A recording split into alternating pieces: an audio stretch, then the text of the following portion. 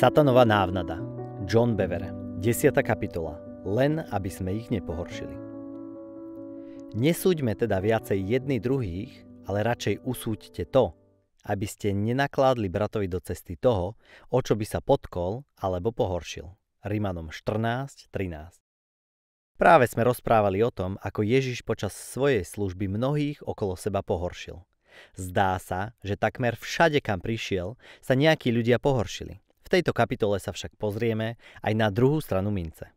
Ježiš sa s učeníkmi práve vrátil do Kafarnaumu, dokončil misijnú cestu a chystali sa na krátky, ale veľmi potrebný oddych. Ak sa nejaké miesto dalo považovať za Ježišovú základňu, bolo ním toto mesto. Kým sa zdržovali v meste, k Šimonovi Petrovi pristúpil vyberač chrámového poplatku a spýtal sa ho. Či váš učiteľ neplatí dvojdrachmy? Matúš 17.24 Peter odvetil, áno. A išiel za Ježišom, aby to s ním prediskutoval. Ježiš očakával, čo sa bude vyberač daní pýtať a tak hneď položil Šimonovi Petrovi otázku. Čo sa ti zdá, Šimone, od koho berú králi tejto zeme clo alebo daň? Od svojich synov a či od cudzích? Od cudzích, odpovedal Peter. Ich synovia sú teda oslobodení. Pozri Matúš 17, 25 až 26. Ježiš poukázal Petrovi na to, že synovia sú slobodní. Nie sú povinní platiť dane a poplatky. Naopak, oni si majú veci zakúpené z daní užívať. Žijú v palácoch, ktoré boli postavené z daní ľudu. Jedia pri kráľovskom stole a obliekajú sa do prepichových šiat a to všetko z daní, ktoré platia iní. Sú slobodní a môžu všetko slobodne používať. Tento úradník vyberal chrámovú daň. Kto bol však kráľom a vlastníkom chrámu? Na koho počesť bol chrám postavený? Odpoveď? Boh Otec. Peter teda práve dostal zjavenie o tom, že Ježiš je Kristus, syn živého Boha. Na základe toho sa Ježiš vlastne Petra pýtal, ak som ja syn toho, kto vlastní chrám, či nie som oslobodený od platenia chrámového poplatku? Samozrejme, že bol. Mal plné právo poplatok nezaplatiť. Pozrime sa však, čo povedal Šimonovi Petrovi. Avšak, aby sme ich nepohoršili, idi k moru, hoď udicu a vezmi rybu, ktorá najprv výjde hore a keď jej otvoríš ústa, nájdeš groš striebra, ten vezmi a daj im za seba i za mňa. Matúš 17, 27. Ježiš pred chvíľkou dokázal svoju slobodu. Avšak preto, aby nikoho nepohoršil, povedal Petrovi, len to zaplaťme. Keď Petra poveril ísť k moru chytiť rybu, bol to ďalší dôkaz jeho slobody. V jej ústach mal nájsť potrebné množstvo peňazí. Ukázal, že Boh Otec sa postará dokonca aj o to, aby mali z čoho zaplatiť dane. Ježiš je pán zeme. Je synom Božím. Zem a všetko na nej bolo ním stvorené a jemu podriadené. Vedel, že peniaze budú v ústach ryby. Nemusel si ich zarobiť prácou, pretože bol synom a predsa sa rozhodol zaplatiť poplatok a nikoho nepohoršiť. Je toto ten istý Ježiš, o ktorom sme hovorili v predchádzajúcej kapitole? Je tým, ktorý pohoršoval ľudí bez toho, že by sa za to ospravedlňoval?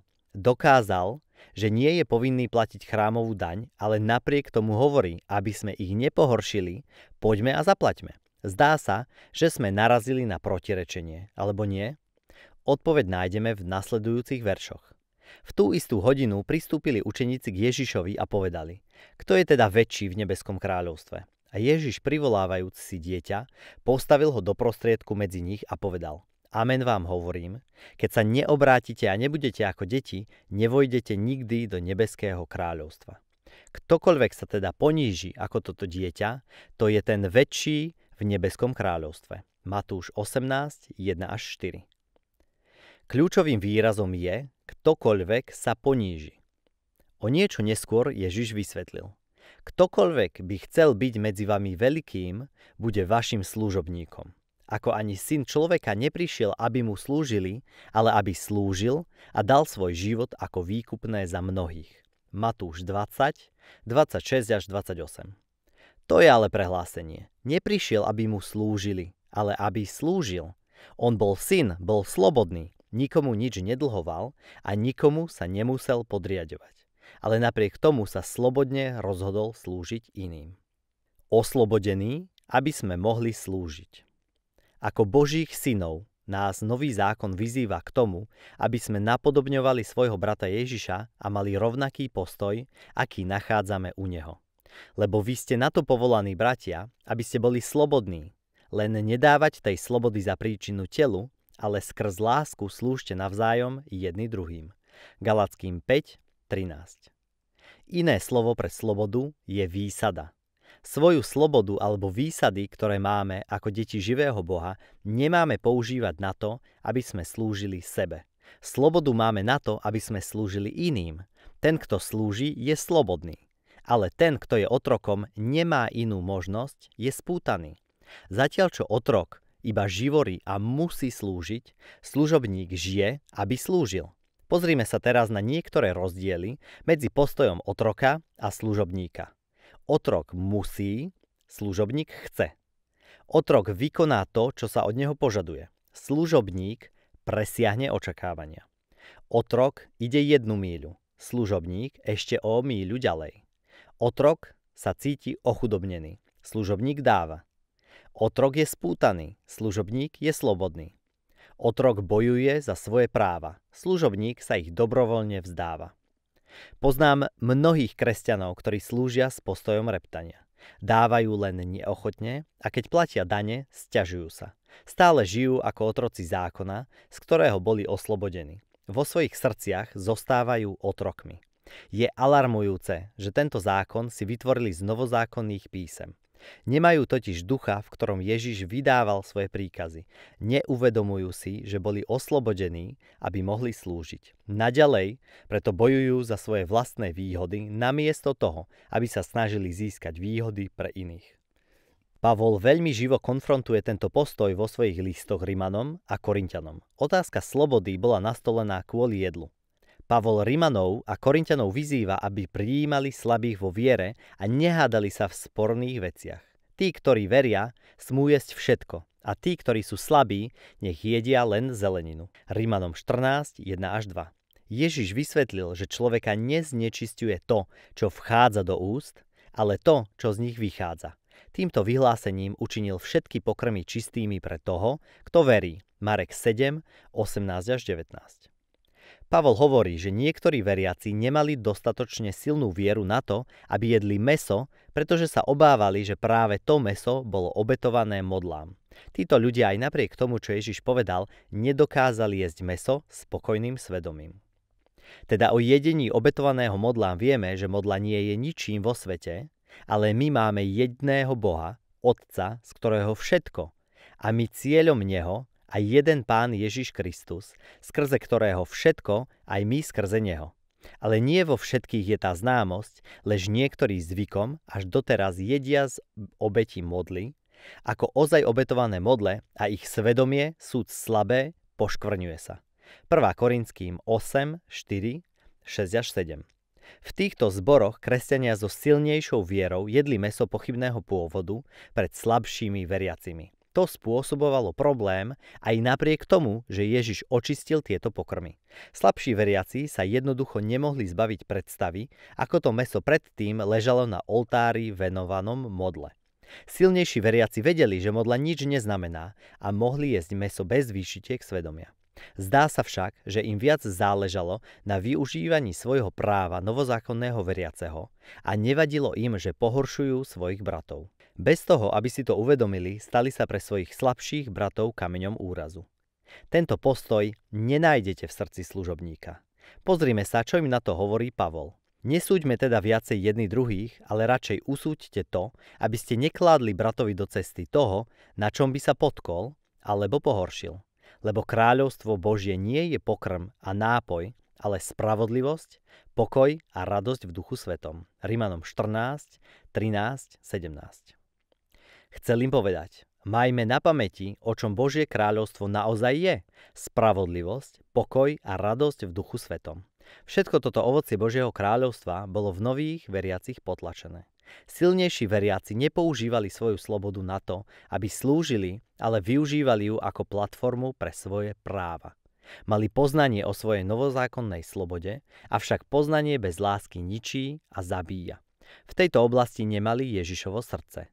Ježiš Petrovi a učeníkom dokázal svoje právo ohľadom platenia chrámovej dane, ale zároveň daň zaplatil, aby im dal príklad, aké je dôležité obetovať svoj život službe iným. Nikdy nechcel, aby sme našu slobodu používali na vymáhanie svojich práv a tak boli príčinou pádu, pohoršenia niekoho iného.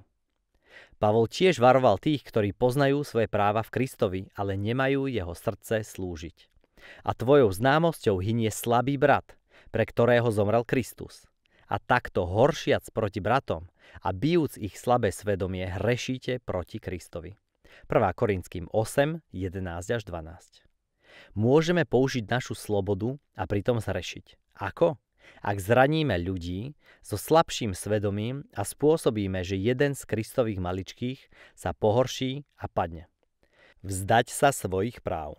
Potom ako Ježiš ukázal svoju slobodu ohľadom platenia chrámového poplatku, upozornil svojich učeníkov aj na dôležitosť pokory. Ak ktokoľvek by pohoršil jedného z týchto maličkých, veriacich vo mňa, tomu by bolo užitočnejšie, aby bol zavesený oslý žernou na jeho šiu a aby bol ponorený do hlbiny mora. Beda svetu pre pohoršenia, lebo pohoršenia musia prísť, ale beda človekovi, skrze ktorého prichádza pohoršenie. A jestli ťa pohoršuje tvoja ruka alebo tvoja noha, odtni ju a zahoď od seba. Lepšie ti je, aby si vošiel do života chromý alebo okyptený, než aby si mal dve ruky a dve nohy a bol uvrhnutý do väčšného ohňa. A jestli ťa pohoršuje tvoje oko, vylúb ho a zahoď od seba. Lepšie ti je, aby si vošiel do života jednooký, než aby si mal dve oči a bol uvrhnutý do ohnivého pekla. Hľaďte, aby ste neopovrhovali nikým z týchto maličkých, lebo vám hovorím, že ich anieli v nebesiach ústavične hľadia na tvár môjho Otca, ktorý je v nebesiach. Matúš 18, 6 až 10. Celá táto kapitola Evanielia podľa Matúša hovorí o pohoršeniach. Ježiš jasne hovorí, aby sme sa zbavili všetkého, čo spôsobuje hriech, aj keby sa jednalo o naše novozákonné výsady. Ak niečo spôsobuje to, že tvoj slabší brat zhreší, zbavme sa toho kvôli nemu. Možno sa teraz pýtaš, prečo Ježiš pohoršil tak veľa ľudí, ako sme videli v predchádzajúcej kapitole tejto knihy. Odpoveď je jednoduchá. Ježiš pohoršil niektorých ľudí ako dôsledok toho, že poslúchal Otca a slúžil iným. Nepohoršoval ľudí preto, že sa dožadoval svojich práv. Farizeji sa pohoršovali, pretože uzdravoval v sobotu. Učeníci sa pohoršili na pravde, ktorú mu zjavil otec. Mária a Marta sa pohoršili, keď odložil svoj príchod a neprišiel uzdraviť Lazara hneď. Nikde však nenájdeme, že Ježiš pohoršil ľudí, pretože slúžil sebe. Pavol vo svojom liste Korintianom varuje. Len dbajte, aby táto naša sloboda nebola na pohoršenie slabým. 1. Korinským 8 až 9. Sloboda nám bola daná na to, aby sme mohli slúžiť a obetovať svoj život. Budeme budovať a nie ničiť. Nedostali sme slobodu preto, aby sme zhromažďovali veci pre seba.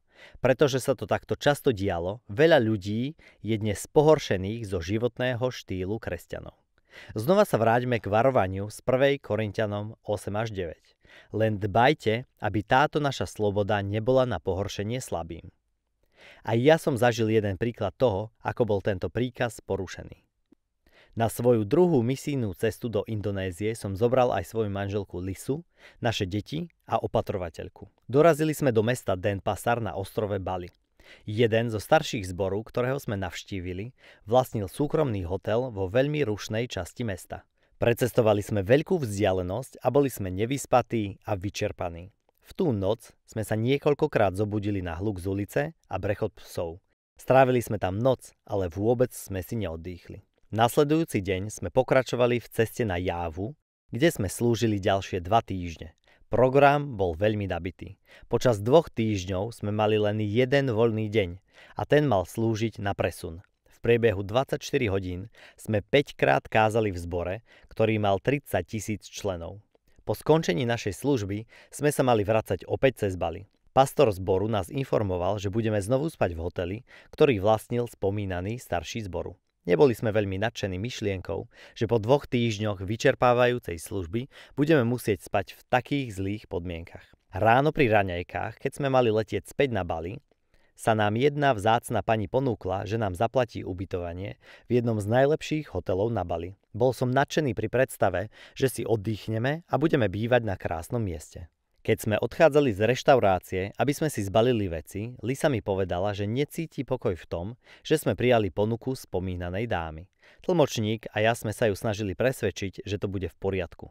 V lietadle z Javy na Bali mi však opäť povedala, že podľa nej nekonáme správne. Vo svojej pochabosti som ju nepočúval. Zopakoval som jej, že církev to nebude stať ani korunu a že všetko bude v poriadku. Keď sme pristáli na Bali, na letisku ma ešte raz prosila, ale ja som ju ignoroval. Keď sme sa zvítali s pastorom, povedal som mu, že nebudeme musieť obťažovať staršieho zboru s ubytovaním, pretože nám jedna dáma platí hotel. Zdalo sa, že ho to zarazilo, preto som sa spýtal, či je všetko v poriadku. Našťastie bol voči mne úprimný a povedal John, nášho staršieho aj jeho rodinu to veľmi urazí. Už pre vás rezervovali izbu na dnes a pritom všetky miesta sú už vypredané. Zjavne som však pohoršil aj pastora, pretože som vôbec neocenil, čo pre nás zariadil. Napokon som mu povedal, že zostaneme v tom hoteli a ponuku štedrej dámy odmietneme. Pán jednal s postojom môjho srdca. Vedel som, že to pastora zranilo. Pochopil som, že požadovanie mojich práv pohoršilo tohto brata a to bol hriech. Požiadal som ho o odpustenie. Odpustil mi. Dúfam, že toto bola pre mňa posledná lekcia. Test vzájomného budovania. Apoštol Pavol v liste Rímanom zhrnul, čo má Boh na srdci v tejto oblasti. Preto snažme sa o to, čo vedie k pokoju a vzájomnému budovaniu. Rímanom 14.19 Našim cieľom by malo byť dbať na to, aby sme svojou slobodou nespôsobili, že náš blížny sa potkne a padne. To, čo konáme, môže síce schváľovať písmo, ale vždy sa v duchu pýtajme. Je to na budovanie, alebo to pomáha len mne?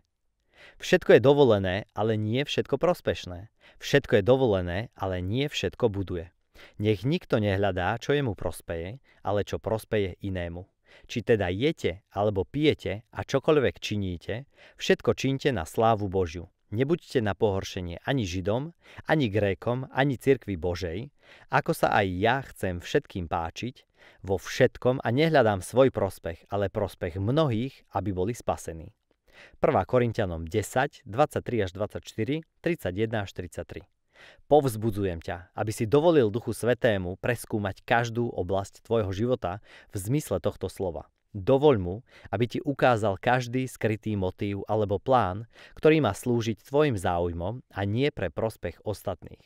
Bez ohľadu na to, aká je to oblasť, príjmi jeho výzvu žiť ako služobník všetkých.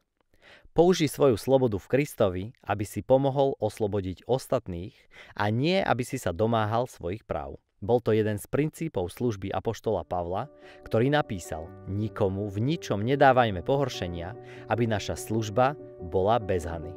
2. Korinským 6.3